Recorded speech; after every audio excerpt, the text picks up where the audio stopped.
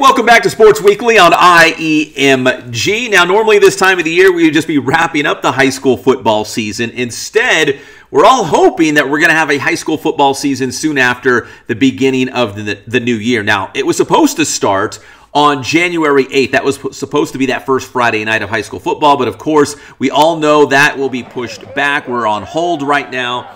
You know, and there's speculation that high school football, you know, the season might be shortened Maybe we would only play league games. Maybe there would not even be a playoffs. We're just trying to get some sort of a season in, and we know April 17th is that date where the season would have to be concluded. We talked to Arroyo Valley head coach Jake Knesel about what he thinks might happen. I know, again, a lot of questions, not a lot of answers, but I know there's high school football coaches out there who are hoping that come January, Workouts will resume, which will lead into real practices with helmets and pads at some point, and then we can jump into some real games as well. But it's so hard to tell at this point. But the coaches out there are staying optimistic, they're staying positive, encouraging their programs, and just trying to stay ready to, to play a high school football season, which we don't know when it will start. Here's Arroyo Valley head coach, Jake Knesel. Now join us here on Sports Weekly on IEMG. He does football, he does baseball, he loves it all. It's Jake Knesel from Arroyo Valley High School. And and coach, first off, you know we try to find these uh, these silver linings. You get to teach from your from your backyard. It's a beautiful day uh, in our area, but but you're in your backyard teaching. I mean, that's there's some silver lining there, I guess. Definitely, when it's a when it's a beautiful day out, I try to bring it outside and you know get some fresh air. Well, coach, you know, as as we look ahead to the high school football season, I know things are um, what's the word like fluid. Things are constantly changing day by day, week by week, and I, and I know the CIF came out not too long ago, and they and they gave us this new calendar where high school football would start in January, and January eighth would be. Um, you know that first Friday night, the first week one of the season, and that's kind of gone out the window because we're we're waiting for public health guidelines from the state level. You know, it, what does your gut tell you about when we might actually, you know, practices with pads and helmets, which would lead into the high school football season? I know we're all holding out hope. We're trying to stay positive and optimistic. Does your, does your gut tell you anything about when we might see this start? Yeah, I um, I, I think I don't know if it's a thought or more of a hope, but uh, um, our district told us that we we can't do anything until we get back from winter break. So we are we're we're done for right now. So, but with that said, we have uh, we have plenty of time to um, start the season later.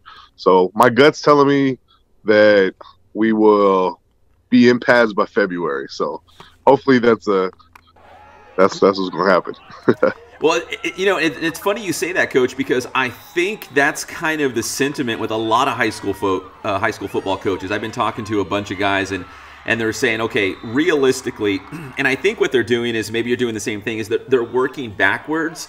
So Rob Wigod, who's the commissioner of the CIF Southern Section, said April 17th is that that date where football has to be over. Like you have to have your season come to an end. And I think they're kind of working backwards from there. And they're thinking, okay, if we can start helmets and pads practices in February, we could probably play five league games and then get some sort of a playoffs um, and before April 17th. Is that how you're trying to look at a new calendar? You're kind of working backwards and, you know, maybe get those league games in and maybe some version of a playoffs. I mean, you know, what do you think? Yeah, definitely. I, um, especially since I do coach two sports, I definitely got to look at the calendar to see what's going on. But, uh, you know, it's, it, it's at the point now where it doesn't even matter how many games. Just I, we got to play something.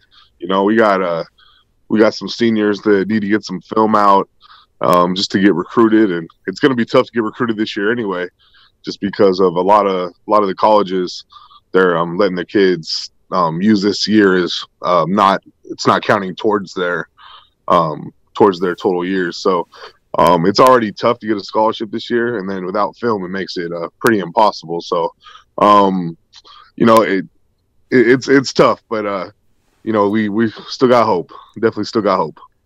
Well, Coach, b- before you guys stopped for uh, you know the winter break for Christmas, you know what did you tell your your coaching staff and your players? Hey guys, you know, come I don't know if it was something like this, like, hey, when you, we come back in January, get ready to get to work because we don't know when we're going to get the green light, but when we do, we we got to hit the ground running. What was kind of your message as you guys kind of went your separate ways for the break? So we had just started practicing. We we only had one week under our belts, so we had just started. Um, well, not practicing. We got to call it conditioning. Can't sure. call it practicing. but uh, uh, yeah. So we had one week conditioning under our belts, and uh, we were starting to get a big turnout. Starting to have um, starting to have kids. You know, starting to starting to keep you know getting contact and you know wanting to come, and you know the numbers are going to keep growing. So you know we were excited, and then when the governor put us on lockdown, it kind of, you know, we kind of knew it was coming. I think everybody kind of had a feeling we were going to get uh, shut down. Um, so, you know, we were just waiting for the call. It was just waiting, waiting. And then finally, um, my athletic director, he texted all the coaches. And so I basically just sent out the word, the exact words that he sent. I posted on our social media. And um, in our football class, you know, we just had a long talk about, you know, we, we've been going through adversity through this whole year and you know we just gotta you guys gotta do your part while we're off so when we come back it's not we're not starting from you know ground zero we gotta you know you guys gotta get off the couch and you know move a little bit and it's so easy to do that there's like football games on every night of the week it's easy to just park yourself on the couch with a bunch of snacks and food I, am guilty of it too it's, it's very easy to get caught up yeah. into that Coach, you, you brought up baseball season. I haven't. I don't have the calendar of you know the CIF calendar in front of me, but I'd imagine baseball starts in what March now on this new CIF calendar. Does that sound about right, or March or April? I think so, somewhere in there. Um, it's hard to it's hard to even think about it, but um, I I mean I feel a little more confident about getting the baseball season in a full season, but um, yeah, I I haven't really paid too much attention to that calendar. I kind of go one one sport at a time. Yeah. So I know they definitely crossed, and if you know if we do move the football season back, it'll even cross more. So um, yeah, I was gonna say let, us assume the Hawks are making a, a, CIF championship run in football. Like you might, you could be having baseball games and, and playoff games for football and all kinds of stuff going on in like April. You know, in that month of April, it could be crazy you know what? I haven't done anything in nine months, so might as well might as well make me super busy, right? That's exactly right, Coach. You know, before we let you go, um, you know, like I think you just touched on it, the fact that football teaches us so many just lessons in life, like real life, the real world out there. You know, you talked about adversity, and you know, I know it's cliche, but control what you can control. You know, what are some of the things that you can do to just kind of encourage?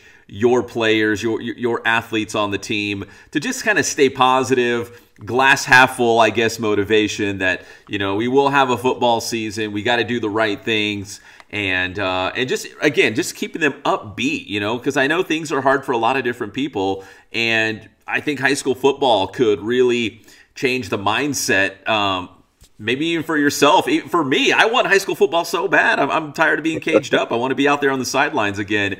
You know, what, what are some? What's the message? I guess you, I'm, I'm trying to ask to that you give to your athletes about just staying optimistic and just kind of supporting and encouraging them um, through what is a very tough time right now. Yeah, I mean, I mean, you, you hit it. Control what you control. I mean, that's a that's a huge part of it. Um, there's no uh, you know, stressing about things you have no control over, you know, never gets anybody anywhere. But, um, you know, it, it's just when we do meet, um, we try and talk about positive things. Um, we, we do talk about football, but, you know, right now, football is not the most important thing. We talk about how, you know, things are going in life and, you know, be thankful for what we have. And, you know, there's a lot of people going through a lot worse. So, I think that's kind of the kind of thing we hit on most, just to you know be thankful for what we do have, and then when we do get football back, we're going to appreciate it more than we ever have. I couldn't have said it better myself, man. I cannot wait to get back to uh, some football games or even practices with helmets and pads. And yeah, I'm really going to soak in those moments for for sure. Coach Knesel, I always appreciate the time. Enjoy that backyard in the meantime. And hopefully come uh, come January we'll we'll start moving in that right direction to have a, a high school football season. So I do appreciate right, the time, hopefully, Coach. Uh, hopefully we're both real busy soon. That's Jake Knesel from Arroyo Valley High School here on Sports Weekly on IEMG. Thanks again, Coach. Thank you. A big thanks to Coach Knesel for that interview. Again, you know, high school football could go as late as April 17th, and high school baseball, where Coach Knesel is also the head baseball coach for Arroyo Valley High School, the baseball season would start in mid March. So there could be some crossover there as well. Again, that CIF calendar, we've kind of just blown it up. We're going to kind of start over once we get these public health guidelines. So maybe some of these seasons will be shifted just a little bit or shortened. Um, everything I, I, would think is on the table right now so we can get some high school sports uh, this season. When we come back, speaking of high school sports, speaking of squeezing in a season, it'll be Indian Springs girls soccer coach Brian Willemse. He'll join us next on Sports Weekly on IEMG.